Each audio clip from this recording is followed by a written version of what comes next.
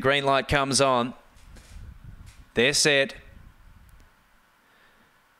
Racing. Beginning well, Chomp Manelli is right up there with West on Tiny. Then Brooksy Manelli, Ollie Machine, Dandalup Casper, Hostile Guess, Farthing Manelli, he's for me. On the outside, Chomp Manelli, reined in by Brooksy Manelli, who shoots around the outside and goes clear from West on Tiny. Then Dandalup Casper well back, but it's all Brooksy Manelli, well clear of Chomp Manelli, West on Tiny. And it's Brooksy Manelli who's won from Chomp Manelli, who got out of the ground late. Then West on Tiny, Dandalup Casper. Further back, Hostile Guess, Farthing Manelli, He's for me, Ollie Machine, and the time to come.